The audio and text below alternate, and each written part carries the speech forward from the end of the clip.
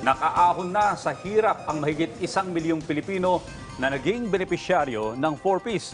Ito ang iniulat ni DSWD Secretary Erwin Tulfo kay Pangulong Bongbong Marcos sa ikatlong pulong ng mga gabinete. Pinangunahan din ng Pangulo ang panunumpa sa tungkulin ng bagong DENR Secretary. Si Mela Lesmora sa detalye. Rise and shine, Mela! Isa sa mga pangunahing tinalakay sa ikatlong cabinet meeting ni Pangulong Ferdinand Marcos Jr. sa Malacanang kahapon ay ang Pantawid Pamilyang Pilipino program ng Department of Social Welfare and Development.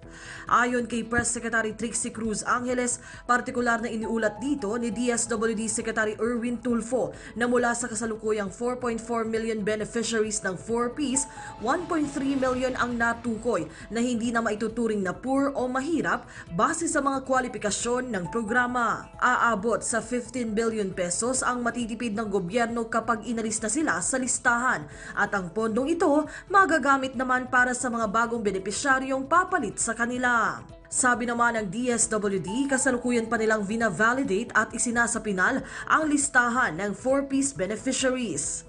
Kasunod naman ng cabinet meeting, pinangunahan din ni Pangulong Marcos sa Malacanang ang panunumpa sa tungkulin ng bagong kalihim ng Department of Environment and Natural Resources na si Maria Antonia Yulo Loizaga. Ayon sa presidente, tiwala siyang lubos na makatutulong ang malawak na karanasan ni Loizaga para maging kapaki-pakinabang ang kanyang pamumuno.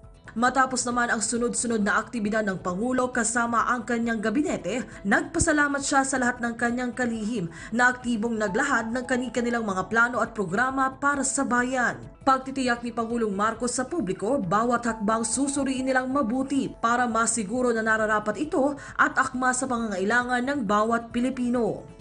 Bago naman magtapos ang araw ng presidente kahapon, bumisita rin siya sa tanggapan ng Iglesia ni Cristo na nagbigay suporta sa kanya noong nagdaang eleksyon. Hinggil naman sa iba pang aktibidad ni Pangulong Marcos, sa ngayon nakaabang na rin ang ating mga kababayan sa kanyang magiging mensahe sa nalalapit niyang unang State of the Nation address. Melalas Moras para sa Morning Show ng Bayan, Rise and Shine, Pilipinas.